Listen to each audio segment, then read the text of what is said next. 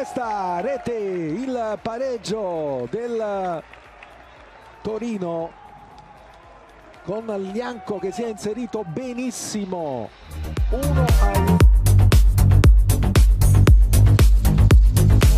Lianco con il destro, Tatarusano la tocca ma non basta, il pallone termina comunque